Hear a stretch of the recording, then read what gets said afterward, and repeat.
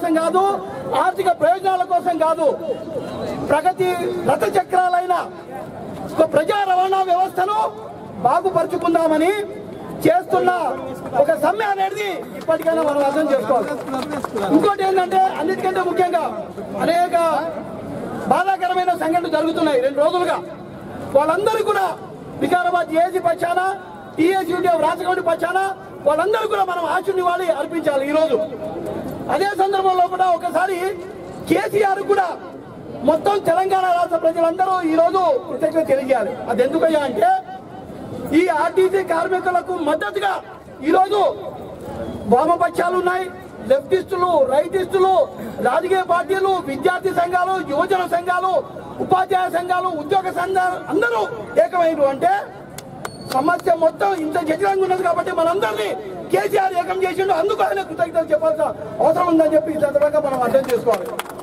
అదే సందర్భంలో కూడా రెండు మూడు అంశాలు మనం గుర్తు చేసుకుంటే అన్న కమలుడైనా రావాలి ఇక్కడికి.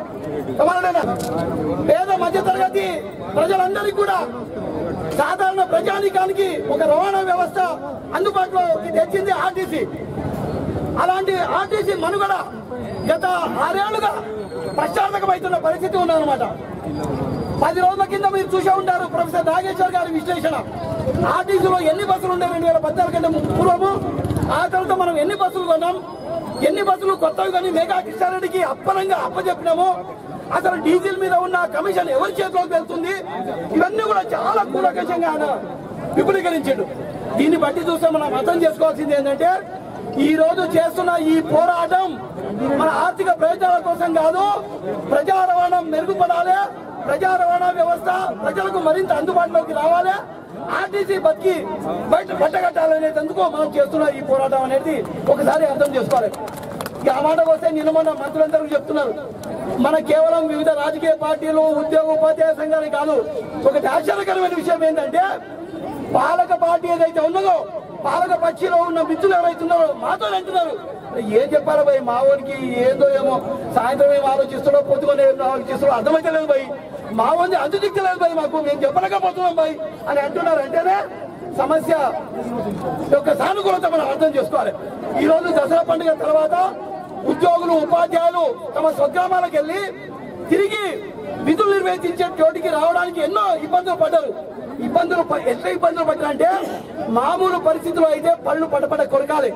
ఆర్టీసీ ఎందుకు సంబంధం చేస్తుండీ కానీ ఎక్కడ కూడా ఏ మిత్రులు ఏ ఉద్యోగులు కూడా ఏ ఉపాధ్యాయులు కూడా ఏ సాధారణ ప్రజానికం కూడా ఎవరు కూడా ఆర్టీసీ కార్మికుల మీద కోపం తెచ్చుకోలేదు. వాళ్ళు ఏమన్నారంటే ఈ రోజు ఈ రోజు ఈ కార్యక్రమానికి ఉద్యోగస్తులకి సంఘీభావం ప్రకటించడానికి వచ్చేసినటువంటి ఎందుకంటే ఆయన హుజూర్ నగర్ పోవాలి. కార్యక్రమంలో భాగంగా హుజూర్ నగర్ పోవాలి. అయినా కూడా ఆర్టీసీ కార్మికులు చేస్తున్నటువంటి ఈ డీపో ప్రజలు చేస్తున్నటువంటి కార్మికులకు సంఘీభావం తెలపడానికి వచ్చినటువంటి వేల మంది కుటుంబాలతో పెట్టుకుంటే ఈ తెలంగాణ రాష్ట్రం నుంచి తుడిచి పెట్టుకొని పోతావు. నువ్వు రెండు సంవత్సరాలు కూడా కరెక్ట్గా పరిపాలన చేసేటటువంటి పరిస్థితి పరిస్థితి ఉండదు. కాబట్టి నేను ఇప్పటికైనా మేల్కొలుపు ఇప్పటికైనా ఆర్టీసీ వాళ్ళ సమ్మెకి సంఘీభావం తెలిపి వాళ్ళకి చర్చలకు పిలువు చర్చలకు పిలిచి సామరస్యంగా వాళ్ళ సమస్యల్ని పరిష్కరించి ఏదైనా ప్రభుత్వంలో విలీనం చేసినటువంటి ప్రతిపాదన ఉన్నదో అది న్యాయసమ్మతమైనటువంటి ప్రతిపాదన. అది ధర్మసమ్మతమైనటువంటి ప్రతిపాదన. కాబట్టి దాన్ని నువ్వు అంగీకరించు. లేకపోతే నువ్వు కాలగర్భంలో కలిసిపోయేటటువంటి మాట వాస్తవం.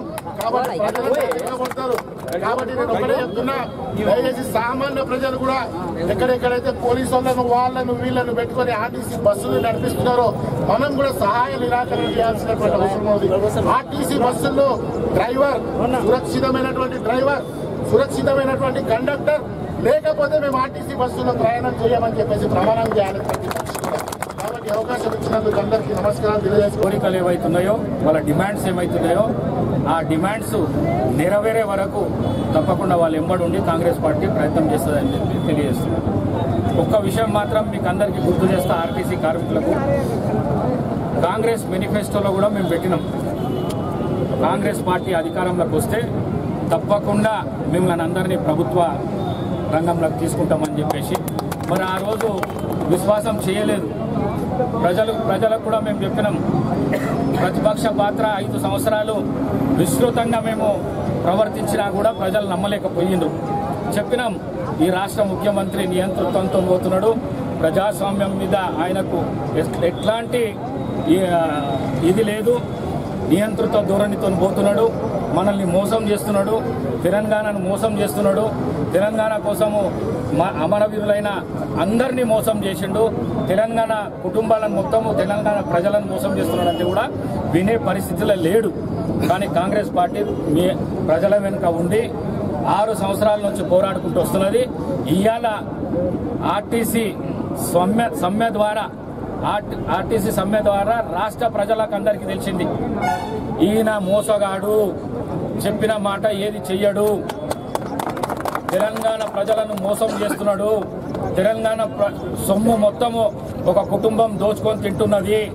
నియంతృత్వంతో ఒక కుటుంబ పాలన చేస్తున్నాడు అనేది ఇవాళ ఈ సమ్మె ద్వారా కార్ ఆర్టీసీ కార్మికుల సమ్మె ద్వారా ఇవాళ రాష్ట్ర ప్రజలకు తెలుస్తున్నదంటే ఆర్టీసీ ఆర్టీసీ ఉద్యోగులకు అందరికీ మనస్ఫూర్తిగా కాంగ్రెస్ పార్టీ తరఫున వాళ్ళకు ధన్యవాదాలు తెలుపుతున్నాను ఎందుకంటే ఇంత విస్తృతంగా ఇంత ఉధృతంగా ఇంతకు ముందు మునుపెన్నడు కాని విధంగా ఇవాళ జరుగుతున్నది. మరి మేము కూడా హుజూరాబాద్ ఎలక్షన్లు ఉంటిమి. శ్రీనివాస్ రెడ్డి ఆత్మాహుతి చేసుకున్నాడని తెలవంగానే నేను విశ్వేశ్వర్ రెడ్డి హుజూర్ నగర్కి వెళ్ళి రావడం జరిగింది. ఎందుకంటే ఈ యశోద హాస్పిటల్స్ ఏవైతున్నాయో వాళ్ళ బంధువు హాస్పిటల్ మీ అందరికీ తెలుసు. ముందు యశోద యశోద హాస్పిటల్స్ ఏవైతున్నాయో వాళ్ళ బంధువులది. ఎవరు కేసీఆర్ బంధువులది. అయితే ముందు హాస్పిటల్లో తీసుకుంటామని చెప్పి ఆ అంబులెన్స్ ఆడదాకా పోయినాక మేము తీసుకోమని చెప్పి పంపించడం జరిగింది. మరి విశ్వేశ్వర రెడ్డి గారి హాస్పిటల్ వాళ్ళ వాళ్ళ బంధువుల హాస్పిటల్ ఏదైతే అపోలో హాస్పిటల్స్ ఉన్నదో అప్పుడే ఆయన ఫోన్ చేయడం జరిగింది. అది బర్న్ బర్న్ బర్నింగ్స్కు డిఆర్డిఏ అపోలో చాలా ఫేమస్ కాబట్టి దాంట్లో మా శ్రీనివాస్ రెడ్డిని అడ్మిట్ చేయడం జరిగింది. మేము పోయే లోపల రెండు రెండున్నర అయింది. మేము గంట గంటన్నర సేపు ఉన్నాము. ఆడ మందాకృష్ణ మాదిగా కానీ మరి అదే చెరుకు సుధాకర్ కానీ మరి అశ్వత్థామరెడ్డి వీళ్ళందరూ అక్కడ ఉన్నారు. వాళ్ళతో చర్చలు చేసినాం. నల్ తొంభై నాలుగు పర్సెంట్ కాలిపోయిండు ఆయన. తొంభై నాలుగు పర్సెంట్ కాలిపోయిండు. ఆయన వా ఇద్దరు కొడుకులు పెద్ద కొడుకు పెద్ద కొడుకు కొడుకు బర్త్డే చేసుకోనికే నిన్న సంతోషంగా కుటుంబం అంతున్నది. ఏదైతే కేసీఆర్ స్టేట్మెంట్ వచ్చిందో టీవీలో ఆ స్టేట్మెంట్కు ఆయన మనస్తాపం చెంది పెట్రోల్ పోసుకొని అంటుపెట్టుకున్నాడు ఇంకో కొడుకు ఆపనికి పోతే ఆయన రెండు చెయ్యిలు ముఖం అంతా కాలిపోయింది. ఈ విధంగా ప్రభుత్వం చేస్తున్నది. తప్పకుండా ఇవాళ కేకే స్టేట్మెంట్ చూసినాం. ఇవంతా డ్రామా స్టేట్మెంట్లు. వాడు కేసీఆర్ చెప్పి ఉంటాడు. నేను కాదని చెప్పినా నేను మళ్ళీ రమ్మంటే నా సిగ్గు పోతుంది నా ఇజ్జత్ పోతుంది. ఎందుకంటే వాడు దూరా. దూరా నా సిగ్గు అని చెప్పేసి కేశవరావును అడ్డం పెట్టుకొని ఇలా స్టేట్మెంట్ ఇప్పించిండు. ఎవరైనా పర్వాలే. కేశవరావు అని ఉండని ఇంకో రావని ఉండని ఇంకో రావని ఉండని ఎవరైనా ఉండని మీకు మాట్లాడతాము మీ పరిష్కారం చేస్తాం మీ డిమాండ్ అని అంటే తప్పకుండా మీరు హాజరు కావాలి.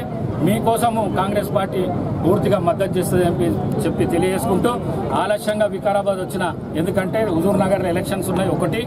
రెండు మీ స్టేట్ లెవెల్లో ఏదైతే ఉన్నదో అశ్వత్థామారెడ్డి దాని లోపల నాలుగైదు కార్యక్రమాల్లో కూడా పాల్గొన్నా నిన్న హైదరాబాద్లో ఎవరైతే గౌడ్ సాబ్ చచ్చిపోయిండో నేను విశ్వేశ్వర రెడ్డి ఇద్దరం ఆ, సురేందర్ గౌడ్ చనిపోయిండో నేను విశ్వేశ్వర రెడ్డి ఆడికి కూడా పోవడం జరిగింది. స్టేట్ లెవెల్లో అటెండ్ చేస్తున్నా కాబట్టి ఇక్కడ మా లోకల్ నాయకులు అందరూ కాంగ్రెస్ నాయకులు కానీ బీజేపీ మిత్రపక్షాలు చాలా బీజేపీ కూడా పూర్తి మద్దతు చేస్తున్నది ఈ సమ్మెకు. వాళ్ళకు కూడా మనస్ఫూర్తిగా వాళ్ళకు కూడా ఆహ్వానిస్తూ అదేవిధంగా కాంగ్రెస్ పార్టీ నేను లేకున్నా కూడా వికారాబాద్లో ప్రతి ఒక్కరూ మీ ప్రోగ్రాం అటెండ్ చేస్తున్నారు మద్దతు తెలుపుతున్నారు రోజు మీ ప్రోగ్రాంలకు వస్తున్నారని చెప్పేసి తెలియజేసుకుంటూ ఏది ఏమున్నా కూడా ప్రసాద్ కుమార్ అన్నట్టు ఆయన ఎప్పటికీ కార్మికులకు కానీ వికారాబాద్ సమస్యల మీద కానీ ముందుంటాడని చెప్పేసి తెలియజేసుకుంటూ సెలవు తీసుకుంటాను థ్యాంక్ యూ పంతొమ్మిది పంతొమ్మిది బంధు పంతొమ్మిది బంధు మొన్నటి దాకా సిపిఐ పార్టీ కేసీఆర్కు సపోర్ట్ చేసింది. ఇవాళ విరమించుకున్నది ఆ సపోర్ట్ను కమ్యూనిస్టులు బీజేపీ కాంగ్రెస్ కలిపి పంతొమ్మిది బంధు వికారా బంధు వికారాబాద్ బంధును విజయవంతం చేద్దాం. పంతొమ్మిది తారీఖు నేను ఉండా కాబట్టి మా వాళ్ళు అందరూ మీకు మద్దతు తెలుపుతారు. వికారాబాద్ బంధువుల బంధుల సంపూర్ణంగా పాల్గొంటారని చెప్పేసి తెలియజేసుకుంటూ సెలవు తీసుకుంటున్నాను. థ్యాంక్